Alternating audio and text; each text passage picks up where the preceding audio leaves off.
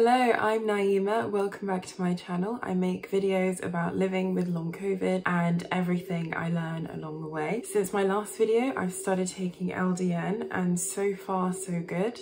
I haven't had any side effects. It's only been one week, but I will share how I'm doing over the next couple of months. Thanks so much to everyone who has reached out to me to tell me about their experience. I really appreciate it. In this video, I'm going to be talking about sleep, something that has been so difficult for me since getting infected with COVID. Whether it's that I can't get to sleep, I can't stay asleep, or I'm not getting good quality sleep, there is something often wrong with the way that I sleep. And yet, I've always known that it is something that is so important for recovery. After lots of trial and error in the last six months, I've made sleep a really important priority in my life, and it is slowly starting to pay off. In this video, I'll be talking about why sleep matters, common problems with sleep and long COVID, why long COVID might be causing sleep issues, and top tips for getting more sleep.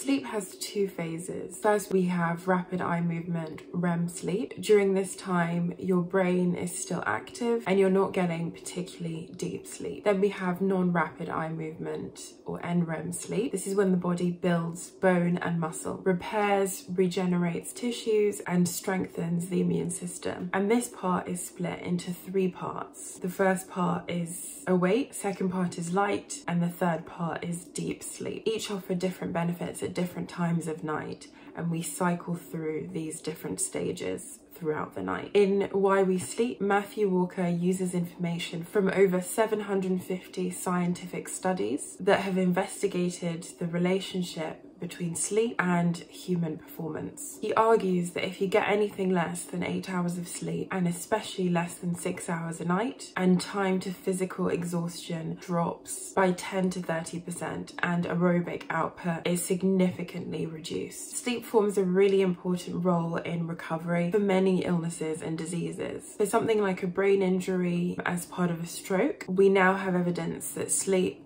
is one of the most critical ingredients in, in the neural recovery effort. Ongoing sleep quality predicts the gradual return of motor function. Matthew Walker also alludes to sleep as a soothing balm. So REM sleep can take the painful sting out of difficult or even traumatic episodes throughout the day, offering emotional resolution in the morning. This is because a stress related chemical called noradrenaline is completely shut off within the brain when we enter a dream state. REM sleep is the only time within a 24 hour period when your body is without this anxiety triggering molecule. It's possible that by sleeping more and getting better quality sleep, we're able to let go of the stresses from the day and release built up tension. But obviously that's easier said than done.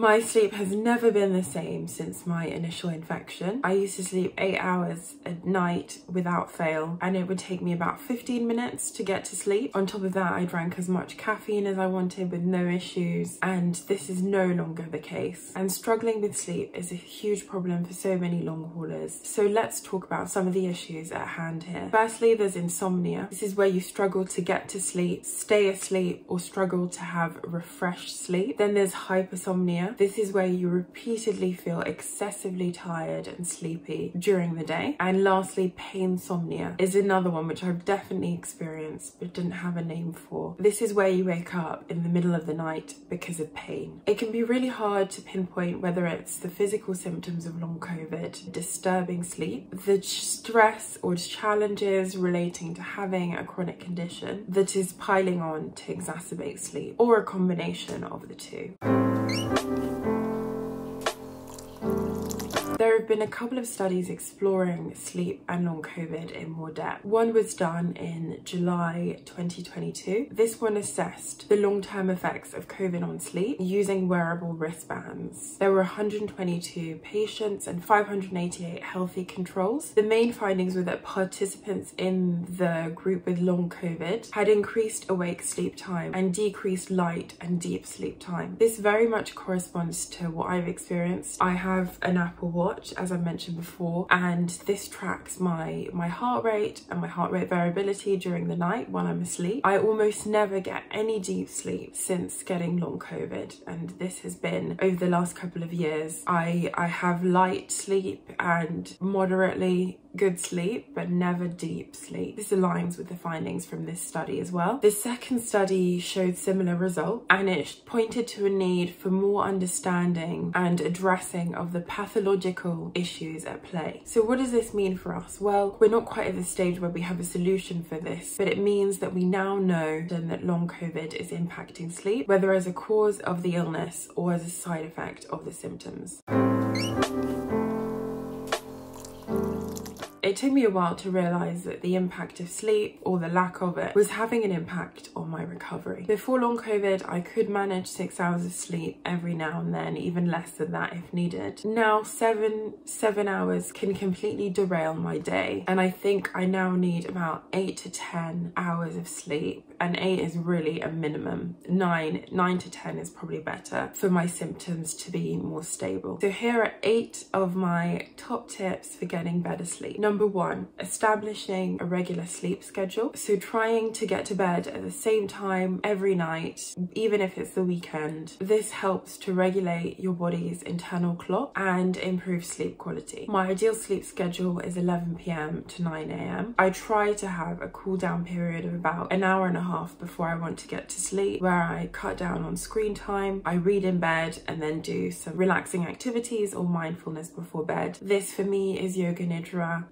meditation or breath work and usually the combination of those will help me to get to sleep or at least be much more ready for sleep. The next tip is to create a relaxing sleep environment. So trying to get your bedroom to be a comfortable relaxing space conducive to sleep. So making sure the room is cool, it's dark, and that it's quiet. I notice that when I spend all day in bed watching stuff or listening to podcasts, I then find it increasingly difficult to get to bed. So I really try to keep my bedroom primarily as a place to sleep. And even if I'm bedbound, I try my best to lie down on the sofa at least. That way I'm, I'm getting outside of my, my room. Avoiding stimulating activities before bed. So activities like being on a computer computer, watching TV, or scrolling through your phone, all of this can stimulate your brain and make it increasingly difficult to get to sleep. The best thing to do is to switch devices off or at least have them far away um, in the room somewhere else. So practicing a relaxing bedtime routine has also been really helpful for me. So it's almost like I'm signaling to my body, now it's time to sleep. You'll be asleep soon. This might be having a bath, having a shower, lighting a candle, reading a book, putting some incense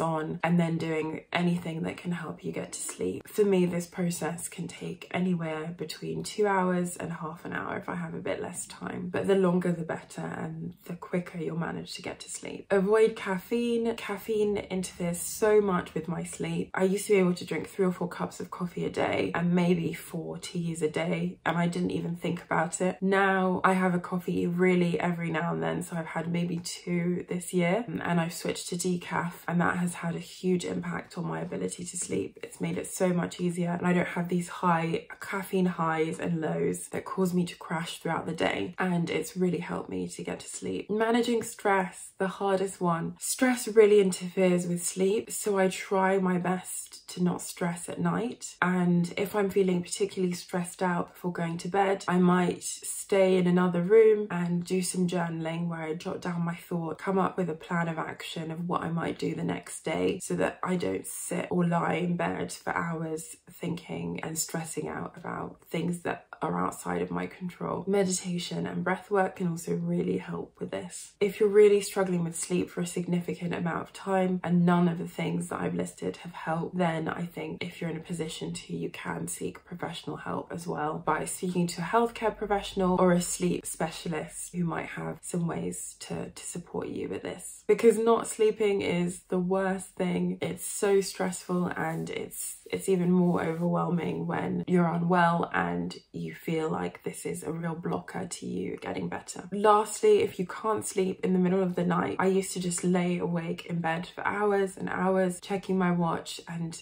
getting more and more frustrated when hours had passed and I had not slept. I no longer do that. I will leave the room, do another activity for 30 minutes, something like reading without screens, and hopefully that then my eyelids start to feel tired and I then return to the room to try and sleep again. And I try and redo that nighttime routine, see if I can get to sleep. What about you? Do you have any top tips that you can add to this list? Please leave a comment below. If you're new here, don't forget to like and subscribe and you can also watch two of my latest videos on LDN, low dose naltrexone, which I'm now taking as of a few weeks and nattokinase as well. I'll see you in my next video. Thank you so much for watching.